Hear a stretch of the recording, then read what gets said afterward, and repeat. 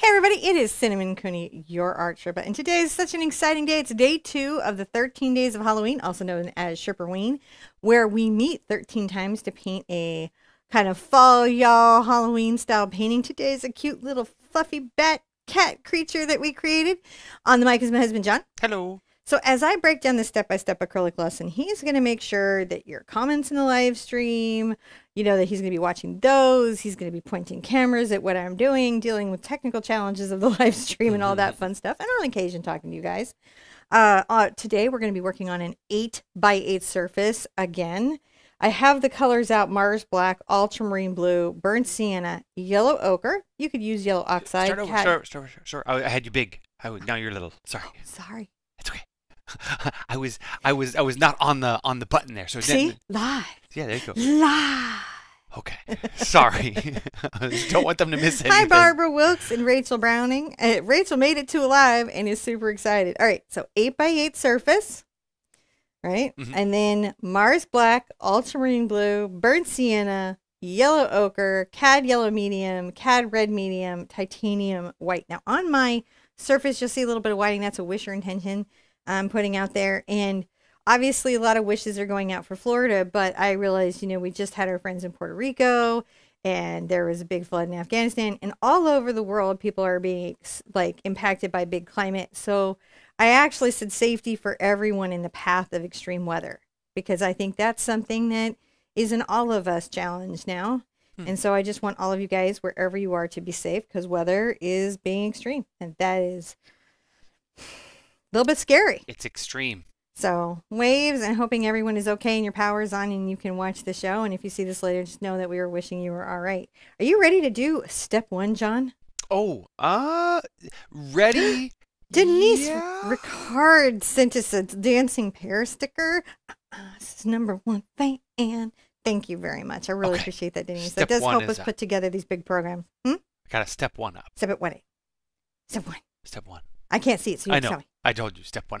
Oh, is that you telling me That's step me one? telling you. we got to work one. on that communication. I did not even know what you were going for there. right. I see Cynthia Lucasen is saying hi to everybody. Now I'm using a number 30 Simply Simmons extra large brush in a firm filament. Do you have to use this brush to do the next step? No. You can use any brush you have. I'm going to paint the whole background a single color. So it doesn't really matter what brush you use. I'm just using a big one to make my job er easier.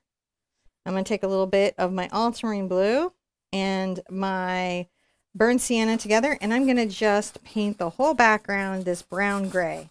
I don't even got to be neat about it, guys. No? Mm-mm. Not even got to be neat at all. This is just a ground. You don't always have to do this. It's not always needed. It is just a nice way to set up your acrylic painting. Uh, over the years of painting with beginners online, I have found that sometimes doing a ground even helps you guys deal with tricky canvases that are somehow refusing to take paint. Hmm. Because once you get the ground on, all the other paint will stick just fine. Today's ground is using a lot of paint. Yeah. Yeah, and that's okay. We don't need it to be particularly thick. It can be streaky. We just need the gray color there. That's how we're going to get our spooky, spooky effect. Yeah. Spooky, spooky. I am really excited about the bat. Everybody was like really pulling for the witches and the cat, but honestly, for me, the bat, because I've done so many little soot bats Mm-hmm. over the years for the 13 days that it just feels a little bit like Kevin or Judgy Rooster. It's kind of old school stuff that we used to do. Uh, oh, Crystal Blake is in Grand Junction, Colorado. You know, my grandmother lived in Grand Junction for a long time. We had a we had a ranch in the area that had connected. Used to take the sheep from not that this is important, but from Wyoming to Colorado, and Grand Junction was the where the stead was. Hmm. Uh, they had it till I was I don't know like five or six. We li- like let it go when I was really little, I believe. Cause you know, not ranching anymore. That makes sense. Sheepless though was not a point. All right, for the next step, we're You- gonna need to dry this. Now, you could let it air dry. You could hair dry it. You can pause anytime during this video, and the live chat will continue if you're here for the lives. Don't feel like you have to paint at my speed. You just you just make this a relaxing, fun time. Yeah. So thoroughly dry. Don't use heat. Avoid those things. Uh, heat is can cause your your uh, paint to become a little soft and sticky. So it's better to just not use that low on the low heat setting. Thoroughly dry. You'll notice there'll be a little sheen texture, not texture, but a sheen change where you'll see it go from kind of a little bit glossy to a little duller, and that'll uh, that'll indicate that you've got that th- thoroughly dry. And Whew, I gotta say thank you to Rosie. Also, Rosie Duell got a fun little dancing goal pair in. thank goal. you.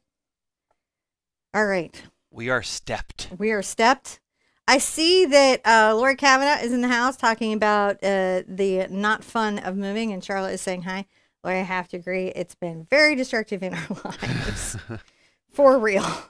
Now, to make things easy on myself, I need to know what I'm worried about painting and what I'm not worried about painting, and also um, kind of placement. I'll be putting it in once or twice. You could use the traceable right now at this stage and it would help you. You just might use put it back in again later if you want to.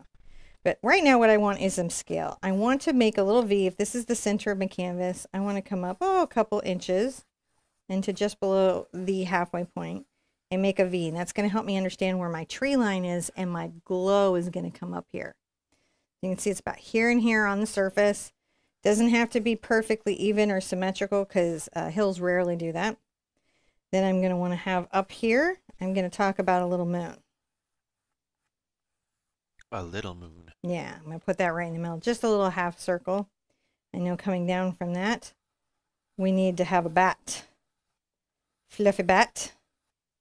Right, And Fluffy bat's wings It's where the bat's at. are going to be coming up like this, creating kind of like a little U, and then arcing off. Scam Likely is trying to call me again, John, but I say no. Scam Likely likes me so much. They call all the time. Scam Likely is what my phone pulls up when it doesn't recognize a number. now, I'm not going to keep all these lines, but knowing where he is, knowing where my moon is, making sure that these things are in scale, mm-hmm. it'll help me for later. Right? And be like, oh, it's gonna come down. I just want to make sure that everything is is fun and taking up the same sort of feeling that I originally had.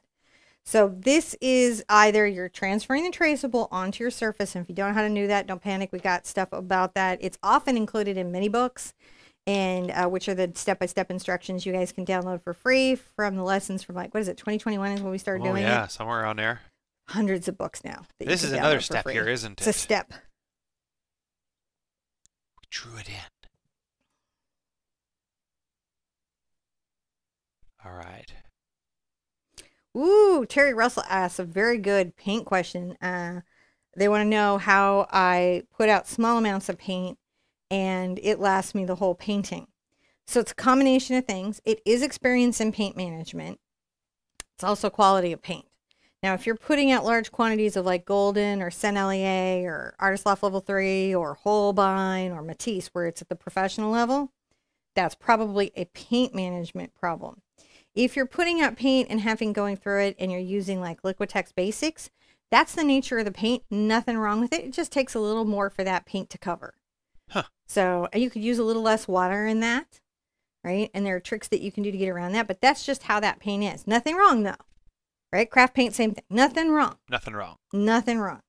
Okay, so we have this very misty, misty kind of down low area up into this gray. And I think, oh, I'm going to get this big boy involved. This is a number 18 D'Artagnan hog bristle brush. But what I'm wanting is about, you know, just a little, man, it's about the size of a finger, right? Kind of thick brush that's round, that tapers in. The Simply Simmons company, this company here, makes an economical hog brush. Uh, it's, you know, this is a very high quality brush.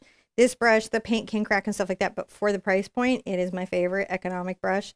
So just depending on where you are in your budget and your art journey, those are some options I can suggest to you. Huh.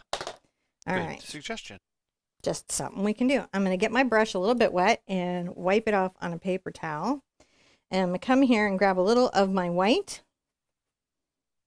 and a little yellow ochre. Right, just a little bit. and I'm going to make little kind of scumbly strokes at the base here. I might even work it in a little past my V, if you guys know why. Do you guys know why? Um, that's because the trees are going to be uneven. I'm adding a little bit more yellow ochre as I come out. And as they come out unevenly, notice I'm wiggling back and forth. I'm not making circles, I'm making little comma pushes. That's kind of a different thing. And the fact that my canvas is um, dry underneath and a color helps it look finished because even though when the paint is transparent, the gray kind of comes through and that helps with the atmosphere. I'm adding a little bit more white here at the base. And I might get a little more yellow on my brush coming up. It can be kind of hard to do. Let's see, can we get into the brush and kind of look at how the stroke is being done? Yeah. All right, so you'll notice that it's not always the same direction, but they're like little C strokes, aren't they? Yeah. Right. My pressure isn't very hard, and you know that because the brush isn't all squished out.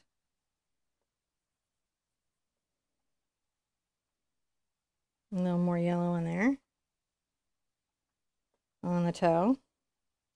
So I'm trying to have it lighter here and darker as it comes out here.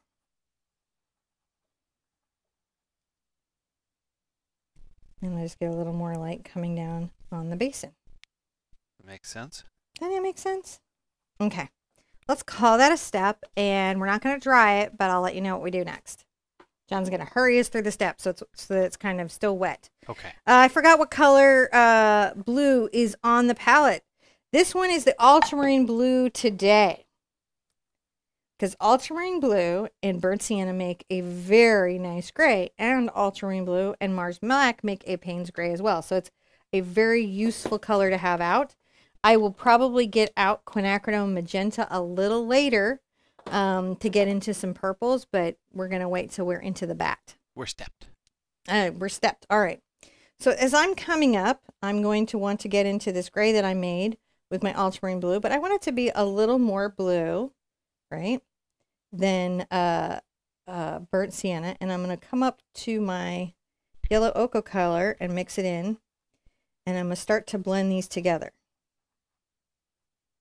What I'm trying to avoid is too much water on my palette.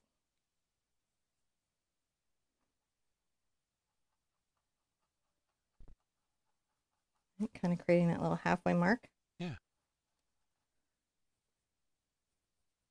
A little bit of yellow ochre in there. This is step one. And come back in and get a little bit of my yellow ochre on the brush with the gray. And look, I can kind of blend up. So what I have here is ultramarine blue, a little burnt sienna. I'm coming over, adding a yellow ochre into it and a little bit of white to create a half value. You know, where the colors are all integrated, that helps create that effect. Now, I got a couple good questions here. Mm, I'd love to answer them. Okay, let's see here. I'm gonna go back up. I'm gonna work Uh, this up just a little Tara, bit. we'll get to your question right here at the break. Kelly uh, wanted to know, can you do this with your Princeton blending brush? Oh, yes, you can. It would be wonderful with a Princeton blending brush. Highly recommended it. Uh, and Melanie says, I love the look of painting on wood palettes. Do I have to do something differently on wood instead of canvas? Ah, the acrylic is really going to stick to your wood. Oh, painting on the wood? Yeah. Okay. S- Yeah, a little bit. Sometimes it's nice to prep the wood because the wood is thirsty. So it's can be good to gesso. If you really like the look of the wood and you feel like gesso might interfere with that, the trick there, I'm adding a little more yellow ochre to my brush here.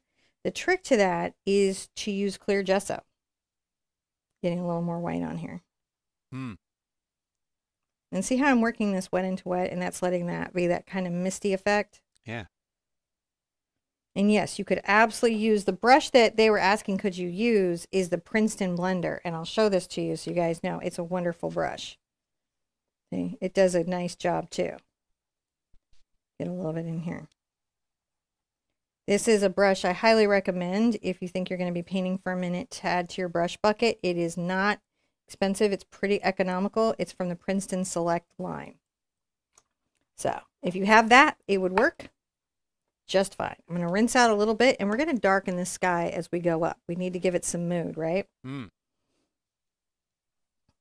So burnt sienna and ultramarine blue coming in pretty far to the bat and I'm bringing this down on the toe of the brush.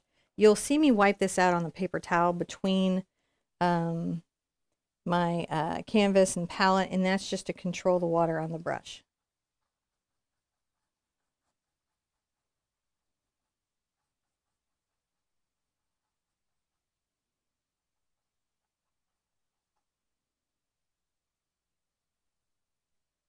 Now I'm mixing burnt sienna, ultramarine blue, and I'm adding a little bit of my yellow ochre in there. And it's greening the sky a bit.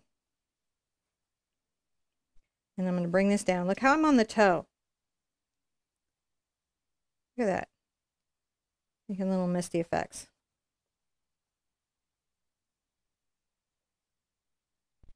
This is kind of a trip if you've never done this before. And if it feels trippy, don't be hard on yourself about that. That is not a big deal. Now, as I come up, I'm going to move more into the ultramarine blue and Mars black.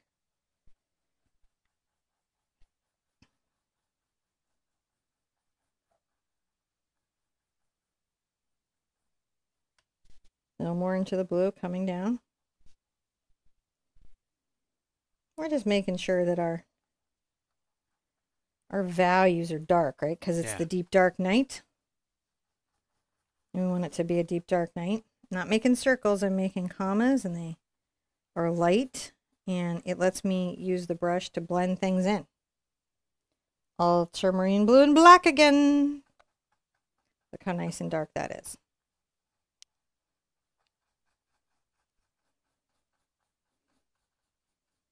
I don't really need to keep my wings. I can put those back fairly easily. If you're concerned about keeping your traceable, you can just keep around those lines carefully. It's okay. Now, would you consider this on a scale of your one to three hoot Two difficulty? hoots. Is it two hoots? This is a two hoot. So uh, for for a beginner, this would be a this would be a like a, a second level beginner painting. Yeah, I think so. I'm going to grab a little bit of my uh, yellow ochre here and just kind of come back in to where it goes up into my trees.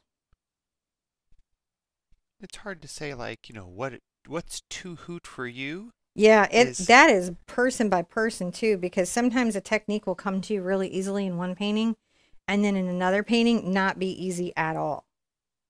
Generally, if you've painted a couple of paintings, you could try a two out. Yeah. When here's what if you're if you're doing this program this year's uh, uh, 13 days of Halloween, I have one hoot years of Halloween. I've done like 120 paintings or some insane number of Halloween paintings Mhm. that are one hoot. But also I have a special program, the beginner acrylic painting course. Yes. It is a short course. It is uh, just you know a little bit of your life. It'll take years off the learning curve, and it's free. Totally free. You just go and do it, and uh, we always have people going through, so you'll always have people to talk to. I'm adding a little bit of white as I come up, and I kind of mood that out. I want to mood it out. Sometimes we want to mood it out.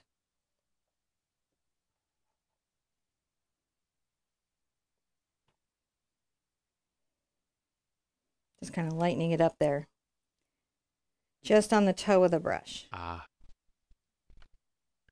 And uh, And then just I'll get in my gray to blend it in. I scrolled back up and just to, to comment there to Black Diamond, sometimes uh, we'll try to get to your question towards the end. Sometimes those um, studio questions can be super complex and hard to throw in in the middle, so we'll see what we can do there at the end. It's a question about studio safety and various paints and things and bioavailabilities and things. Oh, this is probably about, I think I saw this earlier about the chromium and the cadmiums. Mhm. And I actually thought of my answer for you and I was going to uh, type it in the questions, but you're saving me a very long answer. On that, um, So the question me go- is, yeah, read the question. Let me go back and, and read the question. So, uh, da, da, Didn't da, do it at the end, did I? I wouldn't mess with you. I'm adding a little bit of dark value here. I'm just trying to make sure I've got a nice moody sky. Sometimes a moody sky takes a second. Don't let that stress you out. Black Diamond asks. Black Diamond Cinnamon is asking a spoke- very good question. Cinnamon spoke about the cadmiums and skin bioavailability. Yeah. Please ask about cobalt blue and chromium oxide green. So I don't have those memorized, but here's what I'm going to tell you right now. Um, if you go to the Golden Acrylic website, they will have the most health and safety information of any paint company on each of those pigments. Now, and even with the cadmium where they say it's coated, and that's just because I've talked to a bunch of people in the art world who make paint and they've talked to me about that. Um, they try to make these paints as safe as possible for you, but lead pigment is still lead pigment. And um, on the tube of paint, whatever you have, it will have safety information. And I'll tell you a quick thing that I have learned. If it says Prop 65, what that means is do not, for any reason, eat or set fire to your paint.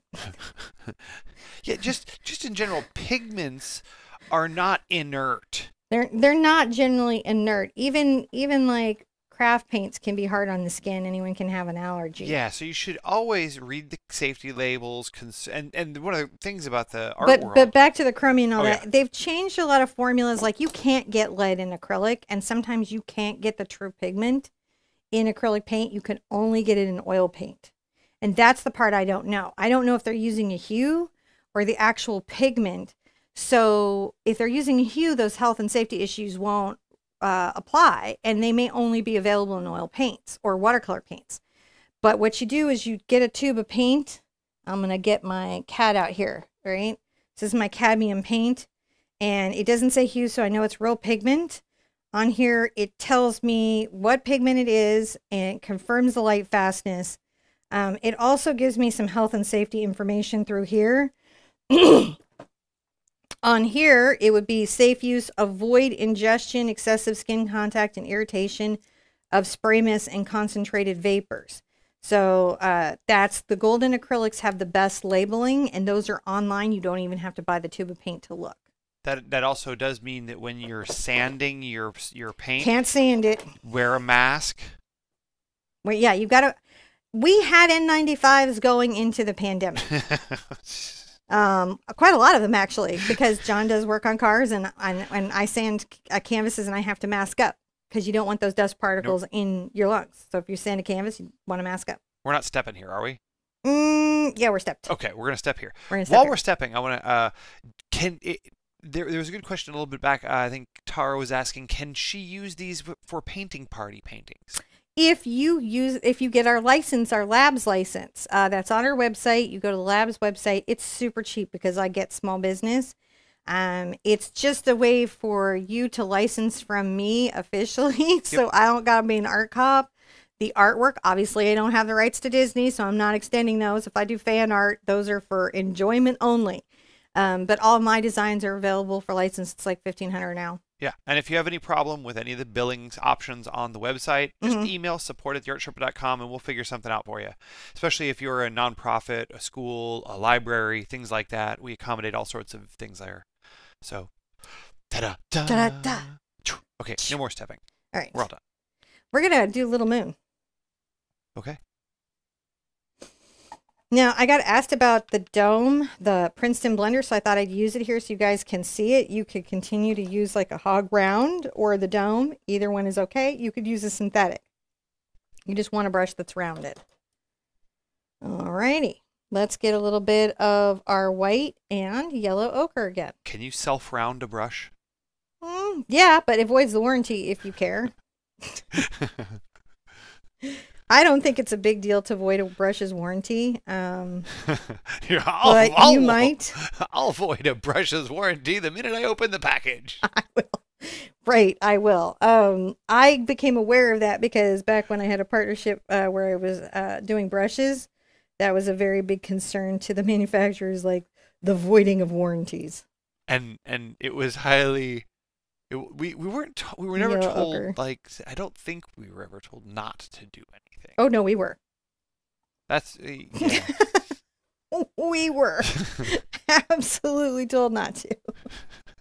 Getting a little more white on here, and you can see I'm just doing a similar stroke, aren't I? but giving a brush a haircut was among one of those. Yeah. Don't you know? Don't do that. don't reset your brushes. Don't you know? I'm well, they, not- they didn't they didn't want us to do it. We don't mind. It's like I don't care. deal. No. But you can understand, like a brush manufacturer's like, no, don't teach them how to give your brush a haircut when you first buy it and void the warranty. okay, wow. but anyway, So you can reshape. That's how. Okay, I'm going to tell you a secret about the brush world. Uh, they these guys don't really, for the most part, design their own brushes. Artists design brushes, and then brush companies copy those designs when they catch on in popularity. So most artists shape, cut, make a brush work for themselves for a tool. That artist gets popular. All the artists copy that tool, and then the brush makers go, "Hmm, pointed filbert seems like a good idea." and then it's super awesome to have a brush manufacturer come in and tell you as an artist what you need because they understand brushes. Just for real. All right, I'm taking a little bit of my burnt sienna, my ultramarine blue, and my Mars black, and I'm coming while this paint is still a little wet, and I'm going to softly add that moon effect in. Hmm? It's moist. Moist.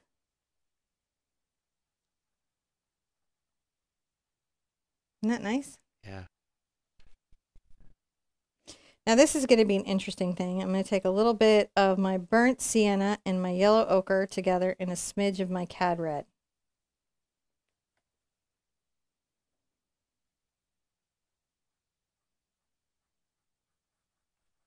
Tara was asking, you you- you designed this reference in image, huh? Yes.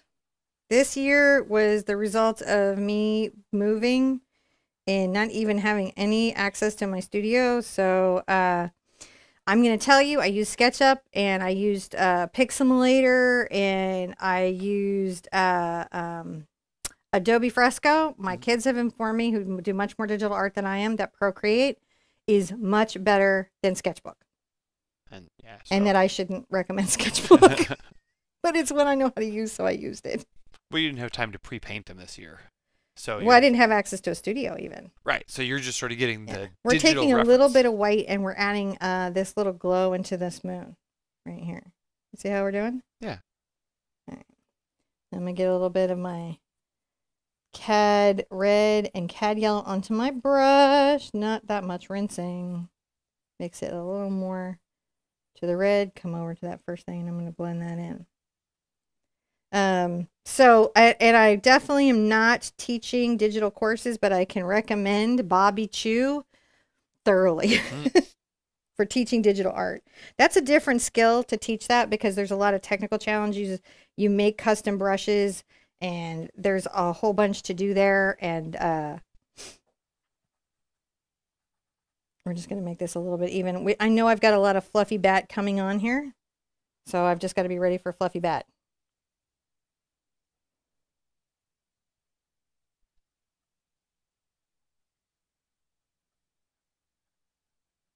Just making this nice here.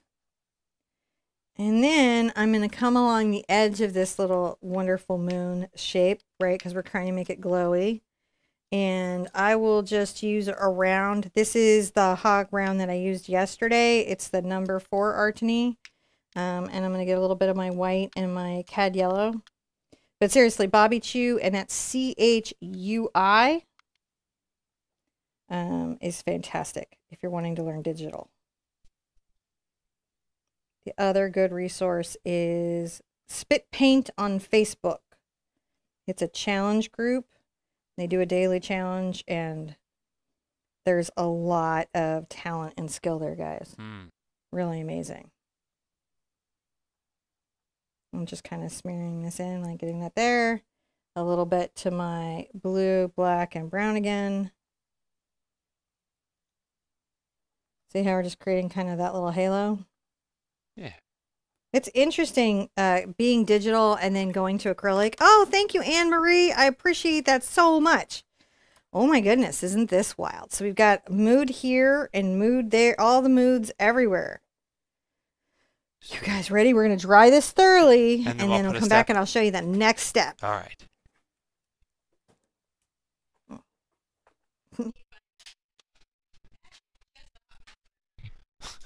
So, thank you guys for joining us on all this wonderful painting day. I love seeing all the peoples in the chat. All the little humans doing the human things, talking to the other humans, being cute little humans. You're such cute humans. I see you guys. And she's back. Oh, I got I'm step. up. back. There's the step. from outer space. So Brooke is uh, saying that this year's Halloween is the best that I've done. I have to agree. And she says the move has helped. I mean, I don't ever want to say that suffering as an artist is good for you, but sometimes having something just crazy earth shattering happen to you does get a lot of emotion out of you. I like it better when I just do it from relaxation and vacation.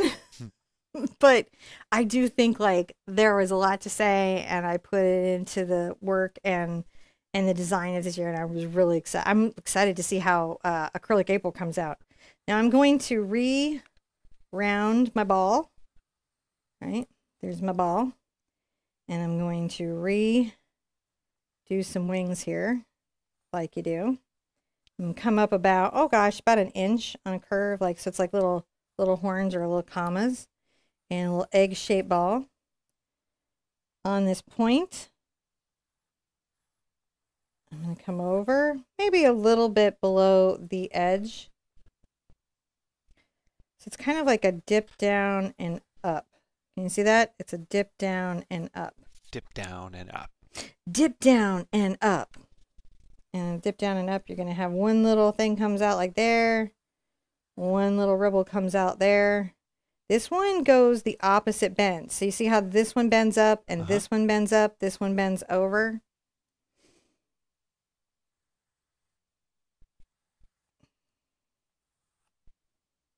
It's a little to it. And now you know why sometimes it's nice to use chalk. We talked about that yesterday. The using of chalk, right? We're going to bring this in, So I'm gonna give an art high. arc it up, arc it up, arc it up. Are we art arc, hugging? arc, arc, arc. Yep. Bulldog, fine art. Thank you. An art high five to Pasha in the Ukraine and Yeah. Alice for saying high five, and to all of our Ukrainian friends painting along with us. Art high fives for painting. Just art high fives on every level to everyone in the Ukraine. Oh my gosh. You guys are. I just don't really have words. I don't.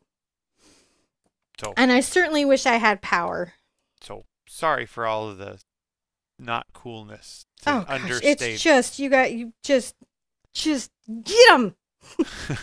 so, but know? trying to maintain our art zen, the art because that's but what it, we're ma- here. it matters that it is. Kier has many friends and artists, and I I know it's like hard to be creative, and I'm just I just think it's so amazing. And please share with us in group, and and we are thinking about you all the time, all the time. all the time. Thank you, Celtic Peasant. I appreciate that so much. And Wezzy Merman says hi from Victoria, uh, uh, British Columbia. I love the back hat, and I really enjoy your tutorials. Thank you. Is our bat wings a step? Our bat wings are let's yeah, we're gonna call this a step. It's good. That way you guys can put the traceable back in if you need it. You can yeah, you, you can have a chance if you if you can go from here and wing it on your own, fine. But if you need the little wing assistance, you got a wingman waiting for you. We're your wingman today.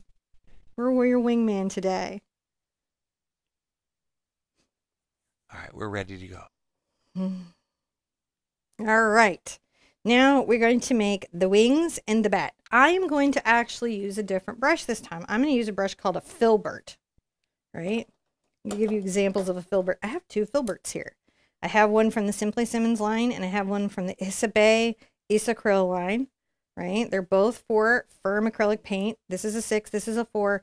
Numbers aren't really relative to brushes, but if you were looking for these specific ones that I was showing here, then you would be able to find them exactly. I'm going to use the four. I'm to get it a little bit wet. And the first thing I'm going to do is paint in the basic part of my black, my bat black.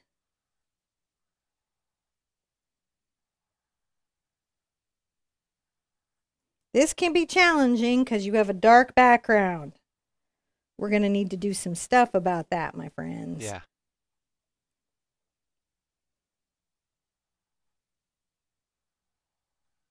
But there's an artist trick for that where you have a very dark background and then you have a dark object on it and you still need contrast. There's a thing that we do. All right, so we're going to take a little bit of our black and blue, but heavier on the blue, and a smidge of white.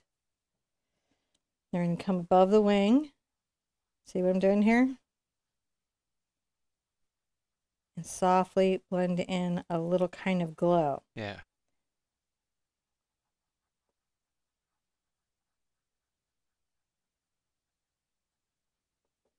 That help you guys see that a little bit? Yeah, I think so. On top of that, you don't want to stripe. You're not trying to make a stripe. And then if I want to kind of soften the edges, I can kind of come in. And remember, you can always come back with your dark color into your wet paint in transition. See what I'm doing? So I'm not even doing a hog brush.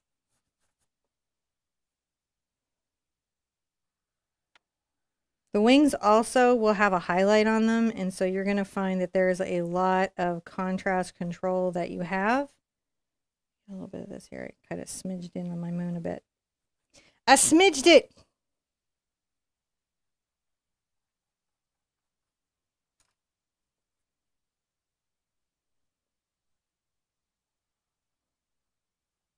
I like this filbert because it gives me clean edges.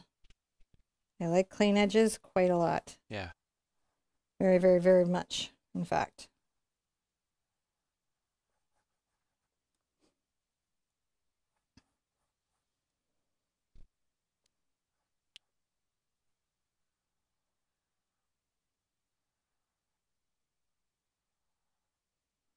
The chalk comes off when the painting is dry with a damp brush. If you don't have chalk, is there anything else you can use?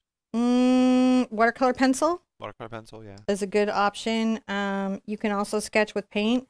I don't, I sometimes demo that with beginners so they can see my lines, but it can be hard when you're new to sketch with paint because it creates a general sense of panic. Because the, the lines feel permanent. They're not really permanent, but they feel permanent to your mind when you're new. When you've been painting a minute, you'll be like, ah, I can change my mind. chalk is probably one of those useful investments. Yeah, and you can use chalkboard chalk. You don't have to use my fancy tailor's chalk at all. No.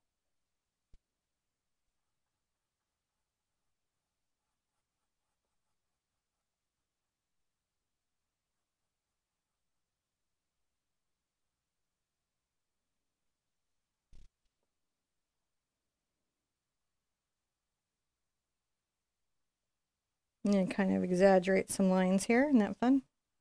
Now the, the Art Sherpa cat's tongue's real similar to a filbert. Yeah, it's it is a uh, pointed filbert. So it's very similar to a filbert. Now, when I have this basic shape in, I'm going to go ahead and take this brush. You could use a grainer or a round. Then I'm going to flick up a little bit of hair. See how we're doing? Yeah. And it's going to come to a point here. So these little brush strokes will kind of curve towards the left. And as I flick out, and that creates the brush kind of opening up and leaving little marks where all the filaments of the brush kind of create the hair, right? Yesterday we used a hog brush. You could use that again if you felt that that was really a helpful way to get furs. Now I'm going to come down here and make my little kind of uh, curled fur tail thing. This time I'm going to flick out this way towards the right hand side of the canvas. And then we're going to flick out towards the left hand side of the canvas, but we're keeping uh, the S stroke that we had there kind of intact, aren't we? Yeah. Fur can feel intimidating, but fur is actually pretty forgiving. Huh. Oh, that's interesting. It really is. I'm excited for the witch painting coming up, says Rhonda R. I first found you with the first witch painting I did with craft paint on a gessoed foam board because that's what I had. And then I did so many with you. And there's nothing wrong with that. Gesso on a foam board totally works. Gesso on a foam board totally works. Yeah. It's completely, oh, re- you can gesso on cardboard. You know, uh, the only, only issue with that is just that it's maybe sometimes challenging to frame and not archival. Big whoop. Not a big deal is that. You know? Um, so if you're painting on non-traditional surfaces, don't think a thing about it. You're fine. Nothing wrong with it. So- Just not archival. You're going to be updating the store with more of these brushes soon. Yes, uh, our store is going to have everything that you see on my show. Oh, so you buried the headline there for Anne Marie. So we the brushes that you see we're going to be have we're going to have available on our website for sale soon. Um, and we will try to update links below on where you can get them for Right. in Amazon. But right? Yeah, we have Amazon right now, but we're going to have a store we're working on it. We're we're cobbling every together. day. We're working on The it. gnomes are cobbling. Whew, goodness gracious, that was a lot, wasn't it? But now we have a strange black shape mysteriously in there. Um, Lily Cleveland, can you spray Krylon gloss over matte spray? Um, actually, you're supposed to do the opposite if if you can. So, say you're wanting to do a matte finish on your uh, painting. Um, what you actually do is the first spray is gloss. This is step here. Yeah. The first spray is gloss, maybe the second spray is gloss. When it's all cured and done, you finish it with matte, and that way there's no clouding. Um, and that's true for semi gloss too. I got that directly from Golden, and I have found that to be true in my own practice. Couples gloss gloss. If you have matte and you want to make it glossy, you can do that. There might be mild clouding. Can you mute me for a second? me, Brad's like Sherpa's door.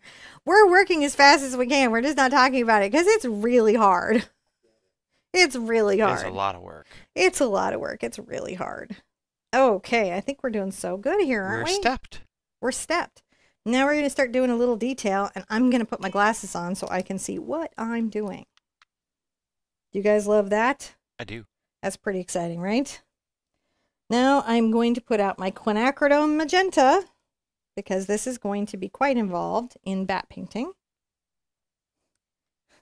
Very involved. A lot of quin on him.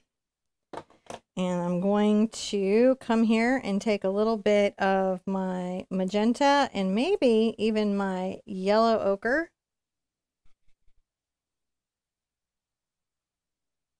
And I'm going to make two little inner curves that will be the ear.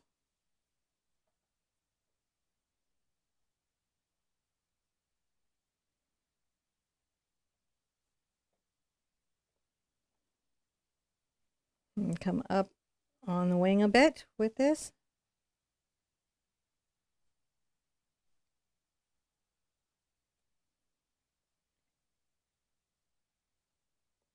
I can always come back with my moon color and trim it in.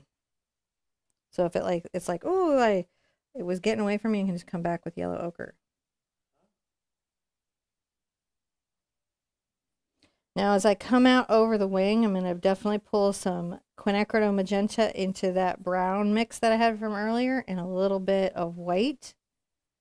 And then I'll even have some yellow ochre here so I can kind of alternate between some of those values. Remember how I said there would be like a highlight? So just a fine stroke on the top of the wing. If you're having trouble getting a fine line, uh, change brush. That is perfectly okay. It's not unheard of at all. Getting a little bit of white and yellow into that.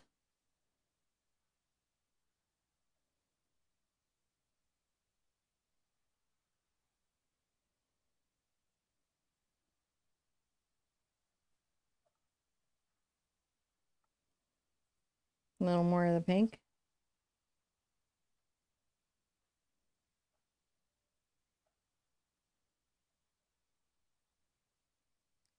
Just highlighting a little bit inside, right? Now, watch this. I can get my blue, and look, it kind of goes purple. Add some white to it. And then we're going to imply our little veins back into the wing.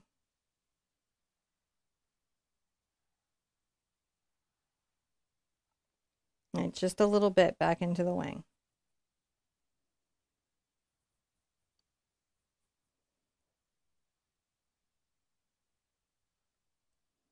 I'm going to have my black over here where I can darken these colors a little bit, but still create variance.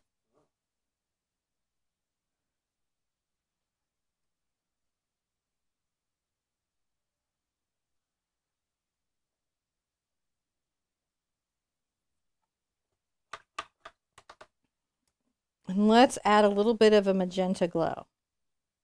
I'm going to take a little magenta and a little of my yellow ochre.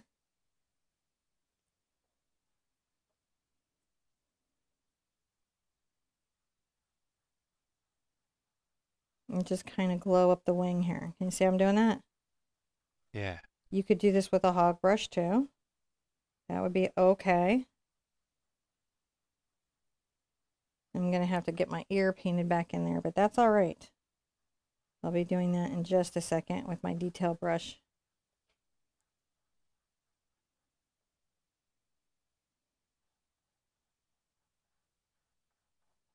I am brushing this in closer to the edge of the wing and I am curving those brush strokes. And when I want to kind of create a little glow, I'll add a little ochre, like a little bit. I use the edge of the brush when I'm using a filbert to blend.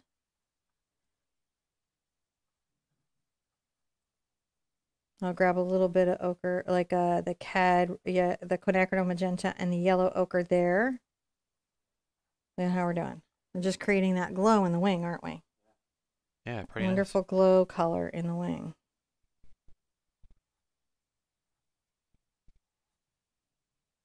See how it's on the curve there? If you're having any trouble with the blending, switch to your dome blender, switch to your hog brush, switch to the brush you blend easily with. Doesn't matter which one it is. You'll have preferences, all artists do. If you're painting on paper not meant for acrylic, say watercolor or mixed media paper, a coat of gesso or white needs to go down first to prep the paper. Once dry, the paper does great, says Mary. It's very true. Mary gives very good advice. We have a bunch of people who've been with us like painting and part of the community forever, and there's so much good advice in the chat. I highly recommend, even if you're on replay, keeping that live chat open. No. Would you Mm, consider consider- this Sherpa style? it's a little bit in the primitive camp, but yeah, there's a bit of like, well, I mean, in that we are artists and we paint in our own kind of voice. What's your style? I don't know. I'll let our historians figure that out if anybody cares in a hundred years. yeah, I I would say it's a bit primitive and it's a bit outsider. Uh, there's a bit of pop culture that falls into it. I tend to be impressionistic. Um, you know, uh, and I think that they're going to have to create kind of a new dialogue for everyone that that came in after references were readily available. Right? I think that there's some impact there for most of us about how how we're able to to deal with with this painting in general. I'm going to get my That was not that interesting of an answer. I Actually, no, it was really good. I Actually, I, I, I'm gonna wait for. I'll wait for you. I'm going to get a number one monogram liner. Once you get to painting a little bit, I'll comment on that. One of the things I noticed is uh, you paint, you teach people how to paint for themselves Right. and not how to paint like you. No, I'm I mean like you can totally paint like me. It's just But that we're teaching you to be artists. right. So Cinnamon will teach you about a subject like impressionism or pointillism or I don't know whatever ism that she's talking about because I don't really know a lot about them. But then doesn't I'm gonna like add a little cad yellow to my yellow ochre over here and a little my quinacridone magenta while John is watching. Well, you, but you get to learn about all the different kind of isms, and then get to figure out which one you want to do. And there's not a lot of pressure put on you to like have to do one or the other to get to them. It's like the democratic. yeah, I would say democratized art is definitely something I'm highly invested in. Um, I believe the next great artist can absolutely come from non-traditional art circles. I believe that everybody should paint, right? Like that, you know, the justification for paint isn't that you're a great artist and must say something and speak to the world. What do you use? What color paint are you using there, Lionel? I am using quinacridone magenta, yellow ochre. uh, I put to brighten and added a little white. So it's quinacridone magenta, yellow ochre, tiny bit of cad, and some white. Carry on. No, no, that helps the mini books when I explain the colors better because I hear from them if I don't do that. Well, I I know that you were talking and, and lining, and I wanted to make sure that we got got sure they knew they were what you were lining with. Now I'm going to take a little bit of my burnt sienna and my quinacridone magenta, still on my number one monogram liner, and I'm going to again kind of come in and talk a little bit about these ears coming down. You can see I'm making a little triangle up. Yeah.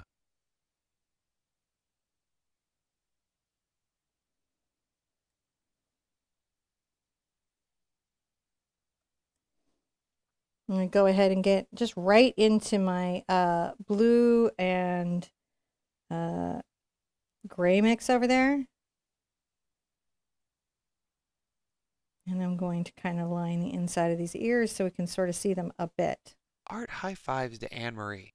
Art high fives to Anne Marie. She painted something and she's proud to have it hanging out in the middle of her living space. I love that. When I hear you guys talking about I painted something and I'm excited to have it here, that makes me so happy.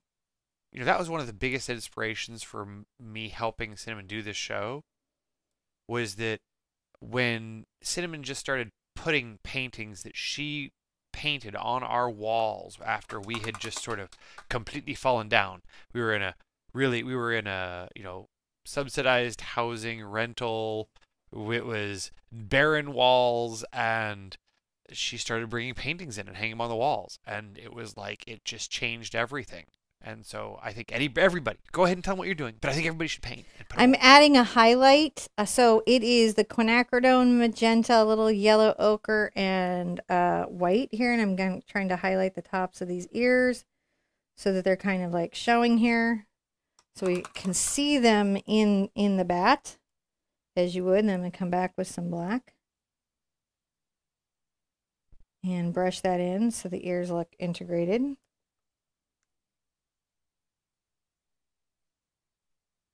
Putting those paintings on the walls sure changed everything. I felt it did help. It helped me even. You know, just having something to look at, adding a little more blue to that. I get a little blue into these ears here. You see, I'm just putting a little in there. Yeah. Let's get a little quinacridone magenta on there. Get some water into that, kind of lightens it up, brightens it up.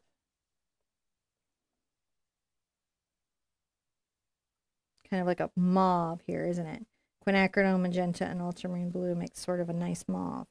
So that's a pretty good sort of ear. I'm going to look at you, sir, and see how you're doing. I'm going to add another little highlight, I think, kind of kind of between the moon and the wings.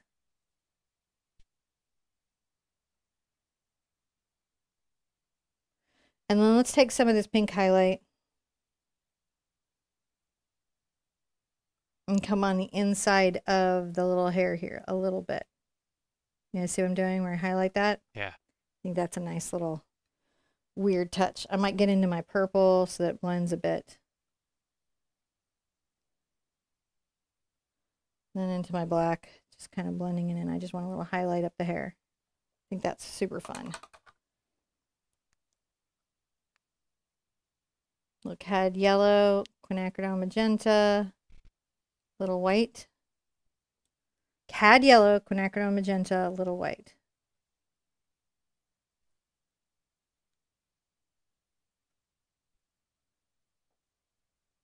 I'm going to add that a little bit to the highlight too. Okay, I think that was a lot to take in, guys. Is that a good So let's, point? yeah, I think we're going to call this a step point because that was a lot to do. You guys did a lot right there. Right? Um, if you're having trouble with any of the techniques, definitely do the acrylic painting course. I've got videos that are just on blending. I'm going to start doing stuff like this just on using a brush um, so that you can kind of start seeing that. Even if it's a one minute painting, so you guys can really see how that's working. Uh, but every brush can do almost everything once you understand the brush, right? So it doesn't have to be a hog brush. It doesn't have to be a blender. It doesn't have to be mop, though. I do think if you buy these two, you'll be super happy that you did a number one select Princeton oval mop and the number 12 round blender. They're very good for blending. A good hog brush is good to have around. These things help. These things are all very helpful. All right. Did we step? We have stepped. We have stepped. Let's let the bat kind of rest for a second, you know, think about what he's done. And I think I will, hmm, I might I might stick with my filbert for a second that I just had, if I can find where I put it right here. Now I'm going to take my Mars Black and I'm going to load up my filbert and I'm going to add a little burnt sienna to it.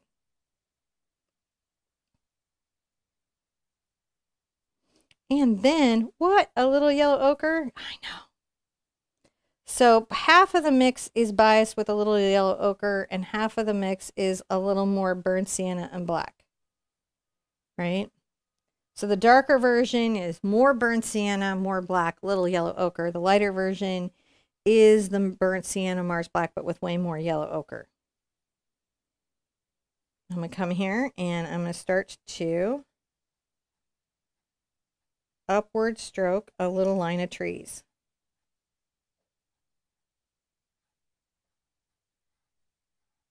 I don't want even lines. And this was the, the lighter mix.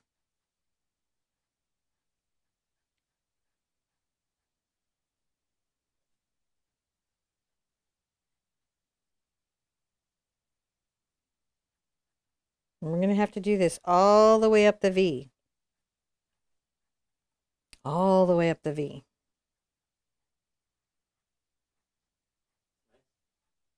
It's nice that you get to use it all the way up there. I like it.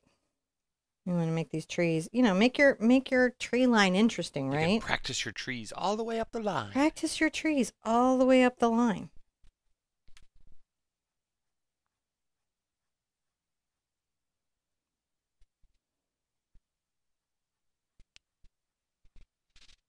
I think, oh, I got into my dark color. I need to be my light color. Oh. That is the burnt sienna and Mars black, but with way more yellow ochre.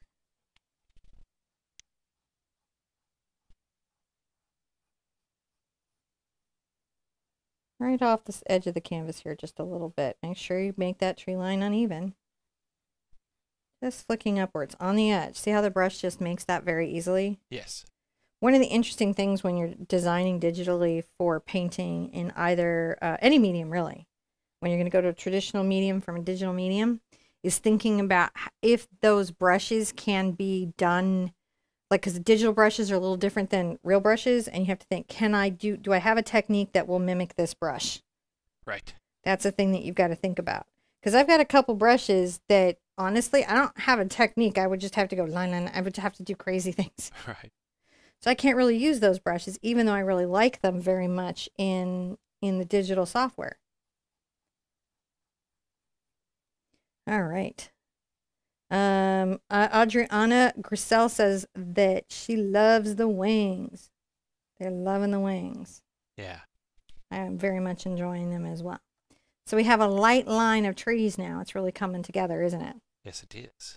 Now we're going to get the burnt sienna and the Mars black. I haven't rinsed out my brush. There is a little yellow ochre in there. It's a hint of it.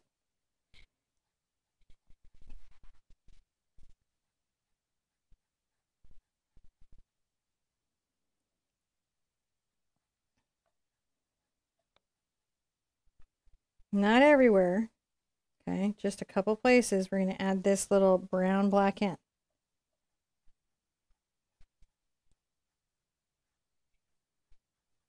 Trying not to make patterns. I'm just trying to disperse hue in the Ah. trees. Mm, I hate to say it. Can you mute me again? Yeah. You're muted.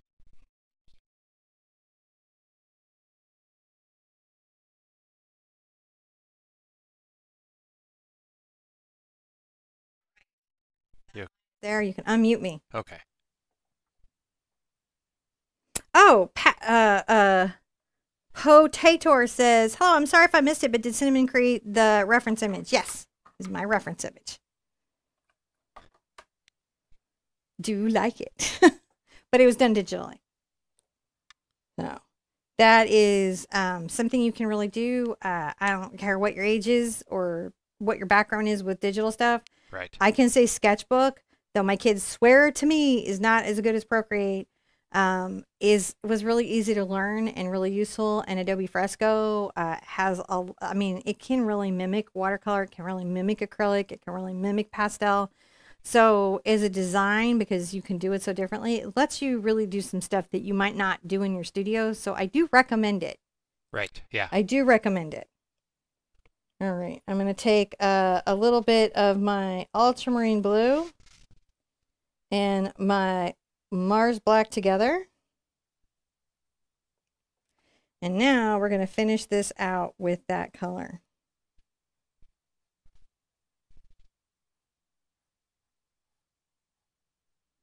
I'm going to try not to paint away all, and I can be more on the flat here with the dark color. Yeah.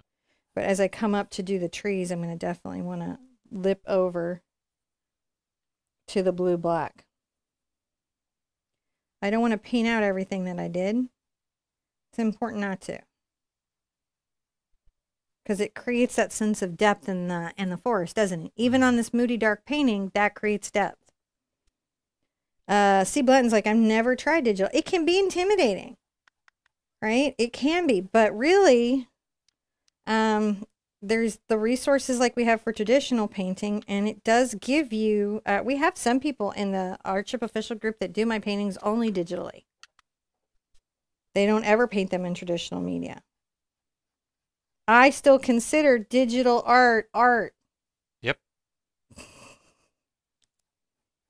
Still real art, guys. I. so in our group, when you do a digital painting of one of the tutorials, I still consider that that you did the tutorial with me. And apparently, my tutorials are followable in digital terms. As paintings to digital. Uh, Jason D says, hello. Thanks for the beginner course I recently finished and I'm waiting on my certification. With you moving, you're still offering a hand signed version. Jason, um, let me one release the digital copy that you can print out. I've got to get onto my, I've been locked out of my Google for a minute, but I'm back into it just recently. So I'll release all the people who finished certifications and send in that question to support at theartsherpa.com I feel like I signed some and left them with Donna, but I don't have that as a locked in memory. Hmm. But I will be as soon as I'm settled and we can print them out and sign them. Does that make sense? Son? Yeah. Yeah. So I'll try to get that back going again because I really liked doing that because you guys worked hard on on that on that course. Just painting this so it's a nice solid little deep dark forest. Deep dark forest. coming around the edge because, you know, got a frame. Well, I'm not going to frame. I'm going to lean against a wall somewhere. But you might frame.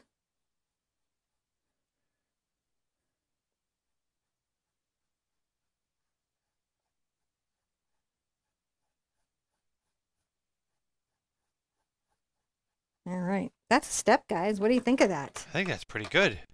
Um, Anne Marie Pratt says tutorials are amazing. And Hope Healer says, hello all. I'm late, but here. So I don't know if you know this, Hope, but a fun thing to do for and any of you guys, if ever you come in late, is to bring digital donuts where you throw up a donut emoji. and we go nom nom nom. I know it's silly. All right, let's call a step. I'm gonna dry it though. Oh, okay. Because I don't want to drag my uh, hand through wet paint. Okay. It does. Yeah. So, while she's drying that, look over here. See what you little humans are doing in chat. Everyone, see everyone over here. Oh my gosh, it's so nice. There's lots of little humans, and you guys are all hanging out and chatting and saying hello to everyone, each other. You know, I was over here working on the console. We have a whole bunch of new switcher stuff. I was telling them that I, I, w- I have a whole bunch of new switcher stuff that is oh, keeping yeah. me thoroughly distracted and on my toes today. On your toes today. We're going to do some glow around the bat. So there's nice contrast, so he really shows. All right. You ready? Bat glow. Bat glow. All right, I'm going to take my cad yellow and my cad red. I'm going to mix them together, and I'm going to make a distinctive orange.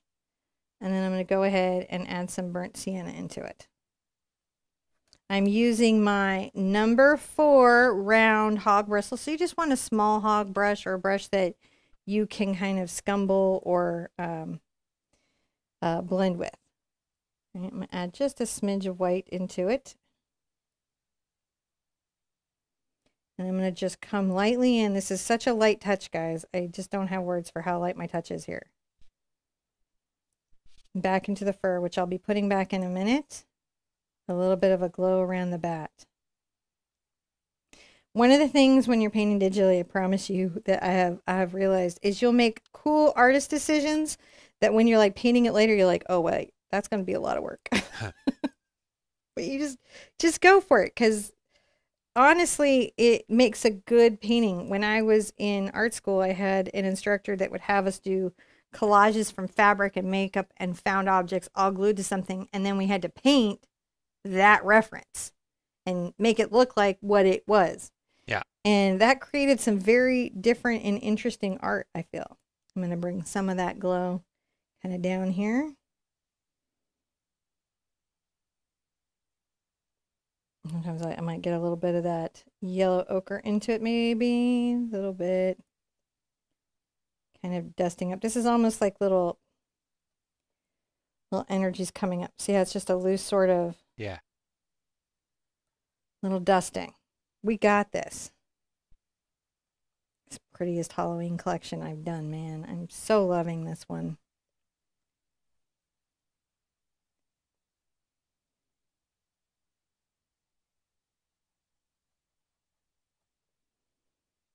So it's about keeping the brush light, keeping the paint load light, and keeping the space open, which means I'm not covering every inch of the canvas with paint.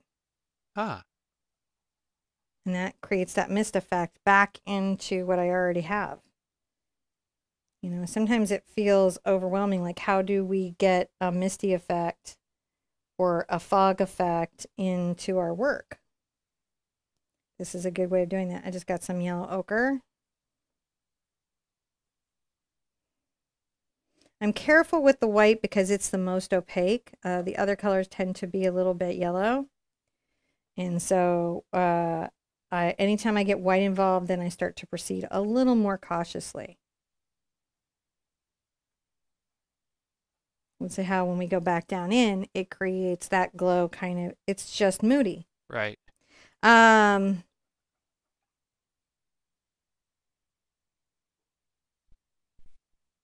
uh, Lily Cleveland, I'm also waiting for the move before I can expect the print that I won. Lily, if anybody doesn't have a print because the team's pretty great at mailing it out, it would mean that, um, We may have been lost in shipping. yeah. And so contact us. We have spares. never hesitate to write us and go, where is it? Yeah. We ever. Have, we have ever. Ever. Uh, support at theartsherpa.com. Tell them what you won, when you won it, what it was. Um, that it, it has been definitely time and shipping, and sometimes things don't make it. And you guys always need to let us know because if you won something, I want you to get your prize. Yeah. Definitely, definitely. So you shouldn't have to wait. I don't know, but the team, like Donna, will be able to like know that. So right there, please.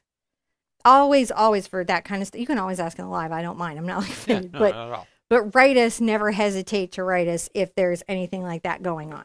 I am happy, happy to help. This we're is all not a happy step to help. yet. We're still going. No, no, new step, New step? new step, because we're gonna do eyes. Okay. See me get my glasses on. I did see you get some glasses. Some on. glasses got on there, so I'm like, ooh, I think I can see in them pretty good.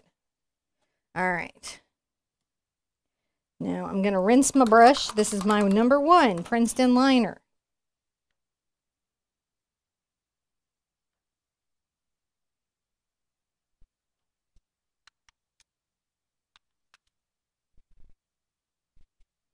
And I'm taking a little bit of my yellow and I just put a little white into it so I can see it so it's got coverage.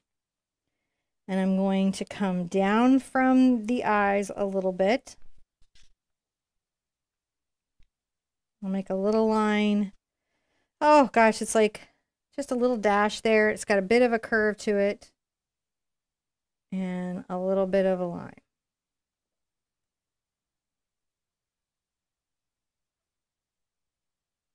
With some good distance between it. Ah. Okay. Yeah. Then I'm going to come down. I want these to be pretty round.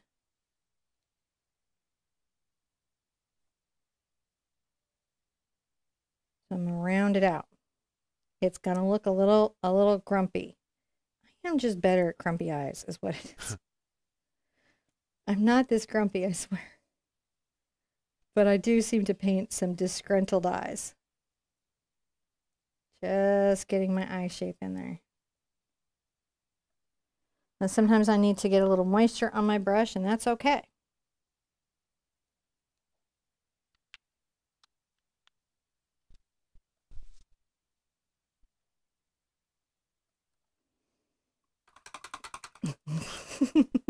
Looking pretty good. It is not bad. I'm going to go ahead and get some bright orange here. Uh, my cad red and my cad yellow. I'm going to come just from the outside edge and come in.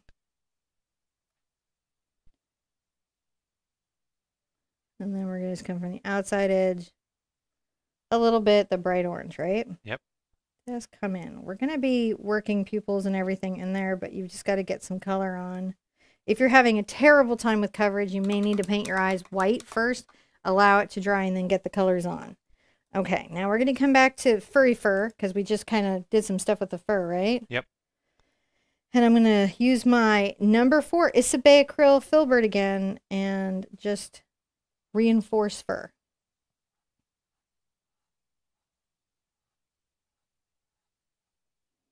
Maybe a little wider out on the belly now that I've got my glow in. See how that does? Yeah. Can come up and make sure that above the eyes are loading up. Sometimes I'll do uh, something on a painting while I'm letting another part of a painting kind of dry. That way you can work around and not have to stop. Now work around and not have to stop. Now I'm going to come up over the ears and kind of put some fear, fur in the ears as I do this. And it also sort of fattens him, I think. I think he's fattening. Let me tip him to make sure I'm getting a good fat little fella. Yeah, I think he's pretty well fed. We'll try not to think about what he's been eating. oh, so good. I don't know. I make myself so happy with this stuff. Hey, he looks great. And I get a little uh, white and yellow. And I'm going to come up here and sort of highlight along the top of the little ear again, just to make sure that we can see those, you know, against that black background. That's important. Yep. I'm going to get a little black on my brush. I'm going to come in and make a nice little pupil. Sometimes I have to thin the paint with water. If I find that on my brush the paint isn't painting well, that just generally means it may be uh, starting to dry or I need to thin it with water.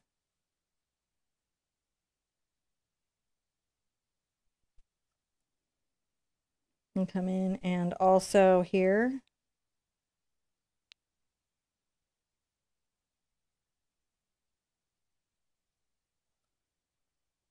Now,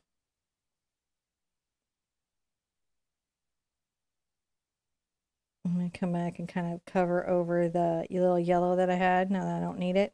Yeah.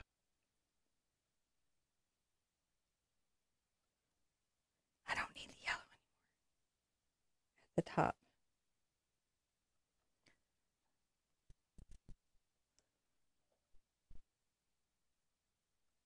And get a little bit of my brown on here.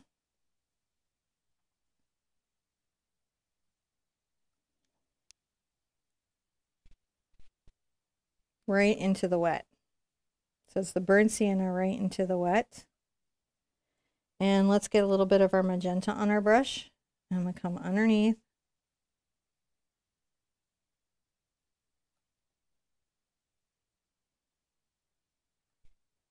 A little bit of the magenta onto the brush. We're going to come in underneath. And let's get a little bit of that pink that we had that was the yellow, ochre, magenta, and white. Remember that?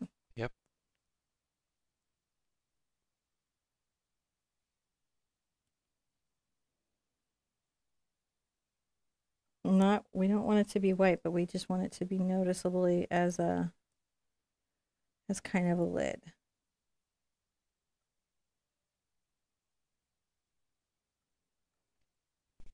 Getting that getting them glowies right? Getting them glowies. I'll get a little bit of my yellow.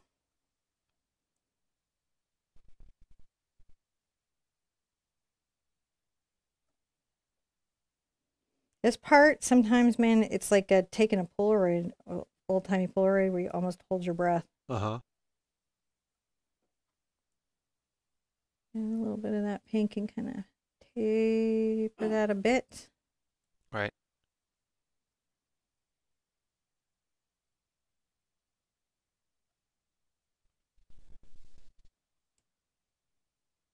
Back into our orange.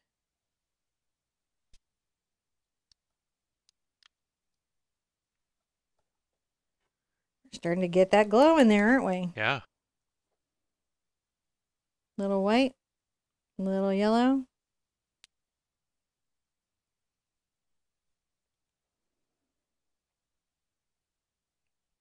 Tap in a little bit of that inner glow.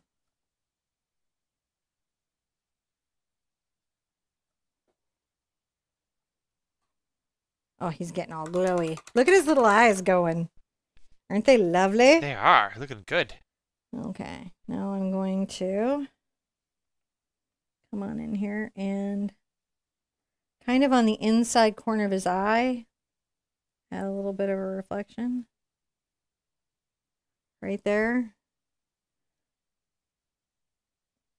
Maybe a little bit there as well. Right here. Right there. Those are so good. oh my gosh, guys. Do you love this? I love him. Uh, Linda Hall says, since I moved in with my son, I finally feel settled. Uh, I have an area to paint set up, so my palette, which I cleaned before I put it away, and I find my sponge is moldy. So one more step to go now. I often, I really do the thing with the that they recommend with the bleach, and every once in a while, I do make sure that um, my whole palette is taken down, and we do like a little chlorinated bath on Right. everything. Not solid bleach, but like a chlorinated bath, which kills the mold out. And then I rinse everything out, and they recommend like a couple drops of bleach in the water. I don't really do that because I'm not sure how it'll affect the paint, but I think in some areas of the world it may be necessary, like super duper necessary. We got a step here. Yes. I'm gonna get my towel. We have just little bits left. Just a little bit. Just a little bits left. Just the tiniest bit. Mm. It's a fussy bit, but it's just the tiniest bit. so we're gonna do our focal ones first, and then we'll do our kind of out of focus ones first and uh, next. And I I feel like I like this. I do want to do some lining. I'm gonna put out a thing called uh golden fluid acrylic in the color titanium white.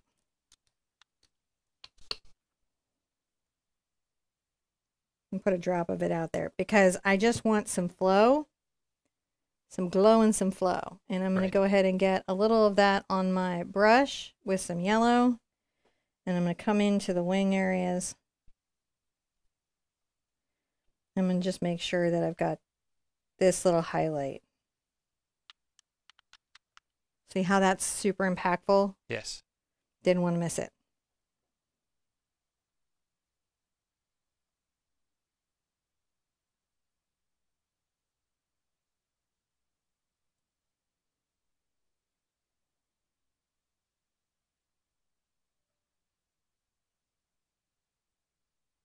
Us go. We're just doing the details, aren't we? Yeah.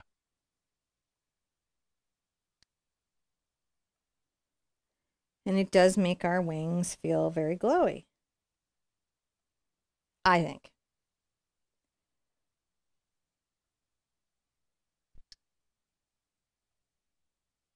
Notice that I lift and put my brush down to create kind of a reflective line. Yep. Because light never really hits everything that solid.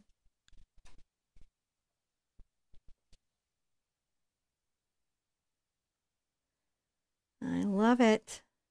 I am not minding this at all. No, not at all. Turned out really cool. Just a little bit of a touch. Now, we have these little bats. Little They're bat. mostly uh, yellow ochre and white. So those are the colors I'm going to mostly work. the miscellaneous bats. The mis- I might get some burnt sienna into the mix too because they're just they got the yeah they're miscellaneous bats. So come here, And we're going to make our big focal one. He's going to be a little V, kind of like those birds. Remember the birds we all used to do in school? And I'm going to make a small little V. Another little V. Little implied V.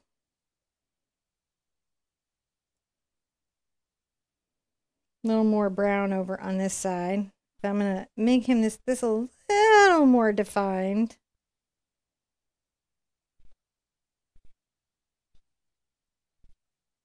Right, those wings are a little more up, more V.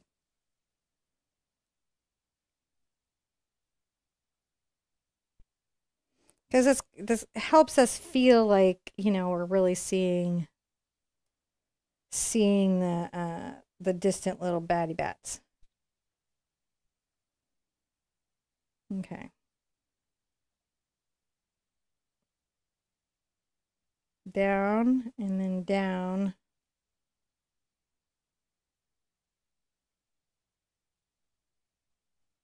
So it's just an implied bet, right? Right.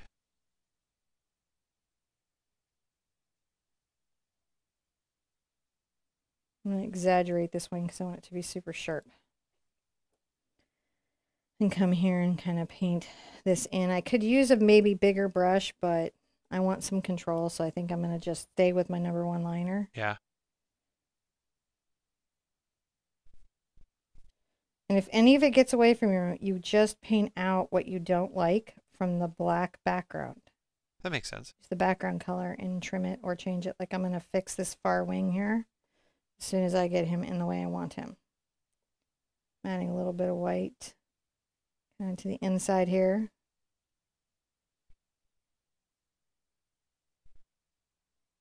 Kind of imply like some shape and value. So if I'm happy with that, but I don't like a line, then I'm going to come back in with my black and blue.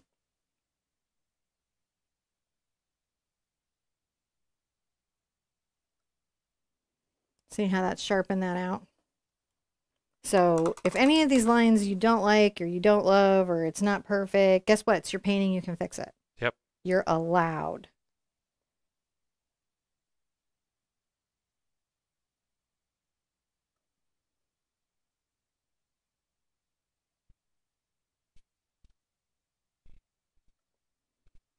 These are just little implications anyways. I'm going to get a little more burnt sienna here because he's a little bit further back.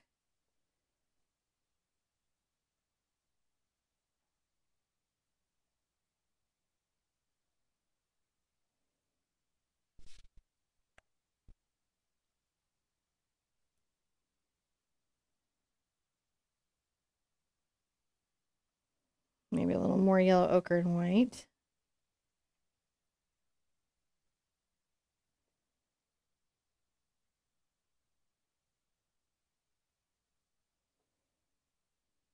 Just hinting these in. They're hinted in the trees. Get a little more solid ochre on the brush. Just getting pure ochre right now.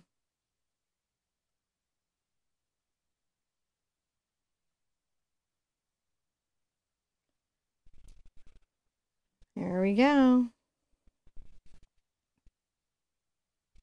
Just a little bit hinted there. It's just, he's just sort of in the distance, right? Yeah. Can always get a little white.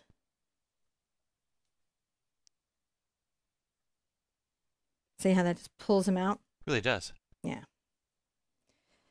So I'm going to go a little more brown over here.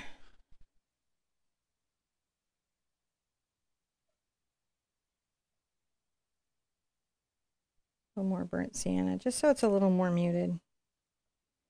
You can always come back with a little yellow ochre in it. And it then becomes that white highlight. Does that make sense? It does. Kind of uh, tap in a little bit of a. These are sort of ghosty implied ones. Does that make sense? Mm -hmm. Why do I keep asking if it makes sense? I'm the teacher. I should be like making sense. You're just wanting confirmation that what you're saying is coming out the way you intend it to. I think I am. When I do these little tap bats where I just kind of cover the V shape, right, what we're really doing is just making sure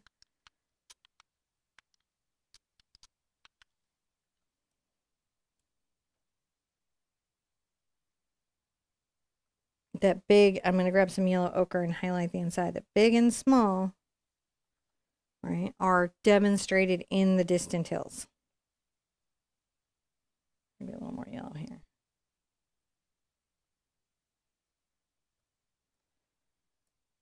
Just some.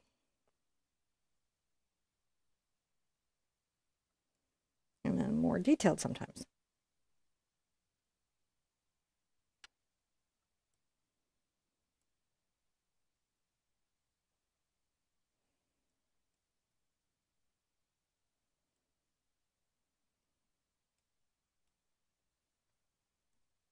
Now, I'm going to take a little bit of my cad yellow, maybe my cad red, I'm kind of get them together in a little yellow ochre.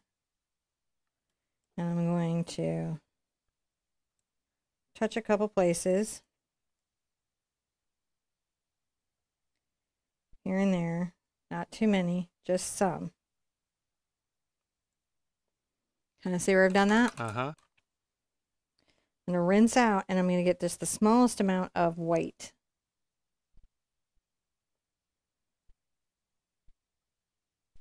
Ooh, they're dots. Kind of like little magic sparkles.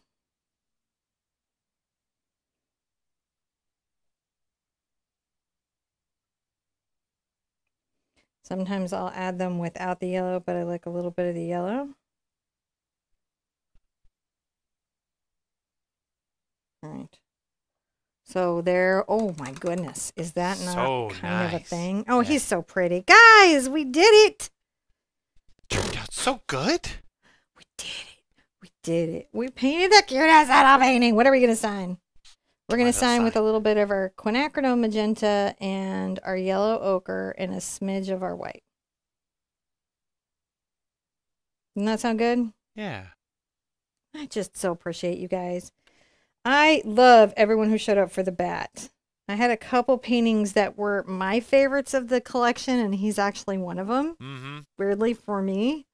Um, and very often, my favorite painting from the collection, not y'all's favorite painting at all. In fact, I was so excited when I did the one eyed monster, like I lost my mind. I just thought he was the best thing ever. And I was like, they're gonna love him so much. Everyone's like, I mean, I love him and he's cute, but like the witches. And I was like, oh yeah, the witches were good. uh-huh. But it's weird because stuff will resonate with us, even, and that's something for you guys to realize, even as a creator, Yeah. um, that sometimes your favorite painting will not be everybody else's favorite painting, but that doesn't make it any less wonderful for either of you Right. right it's it's just the weird thing about art is that we get something out of creating it but other people get something out of viewing it and you know neither one negates the other Right.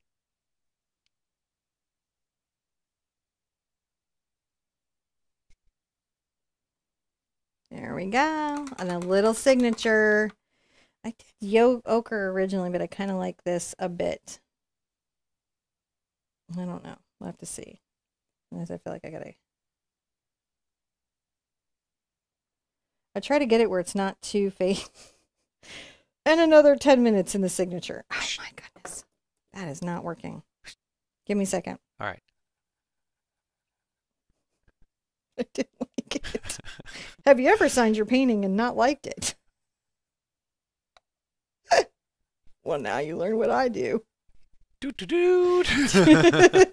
and this And is the gone. I unexpected didn't like bonus it. lesson. Bonus lesson. All right, I'm going to try this. Okay. I'm going to re-sign. This is the bonus, secret bonus. So yeah, you should dry it off, dry it thoroughly. That way, when you do the next thing, it will just telling them to thoroughly dry it so that it will. Like, yeah so it won't now i'm gonna make sure i rinse out my brush get i wipe my brush with a paper a paper towel or towel to make sure there's not a hidden drop of water and i think this time i'm just gonna come over to my fluid white and use my uh, yellow ochre that i have here kind of what my original instinct was and i'm twirling the brush loading it on the tip and trying again oh much better